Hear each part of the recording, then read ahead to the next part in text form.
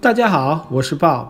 最近看了国内扶贫大剧《山海情》，看到最后都是通过种植口蘑发家致富的，所以今天用口蘑做个汤，非常的鲜，欢迎你也尝试一下。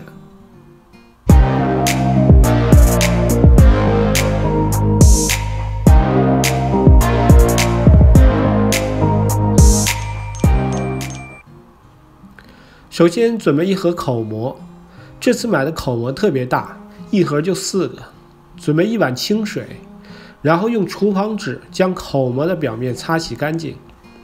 我不太喜欢用水洗，因为蘑菇很容易吸水，用厨房纸就能擦得很干净。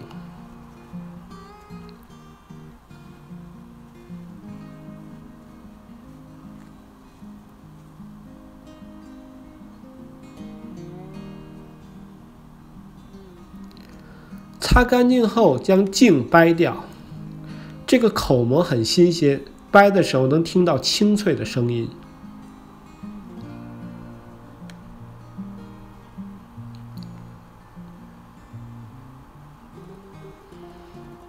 然后切点葱花。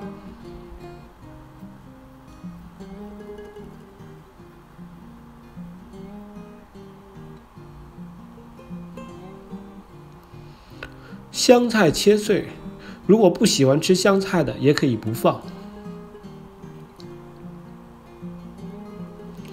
取一个平底锅，锅中加点橄榄油，先将口蘑倒扣在锅中煎大概一分钟，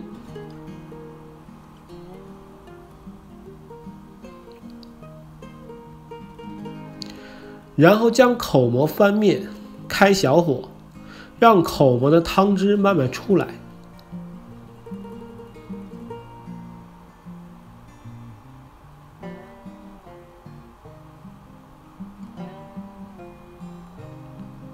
等口蘑已经煎好了，可以看到每个口蘑中都有汤汁，这个是汤喝起来鲜的关键。先将汤倒入一个汤锅中，然后用剪刀将口蘑剪成片。如果切的话，会浪费很多的汤汁。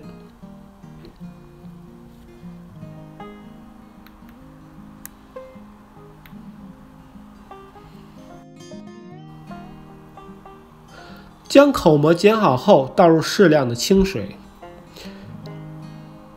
水烧开后煮四分钟，然后加入盐，一点点白胡椒粉。再撒上些葱花和香菜，稍微搅拌一下就可以关火了。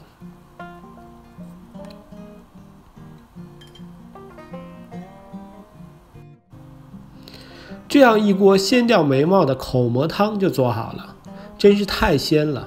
天冷的时候喝上两碗，真是很暖胃。好了，今天就到这里了，感谢您的收看。如果你喜欢我的视频，欢迎订阅我的频道。我们下期再见。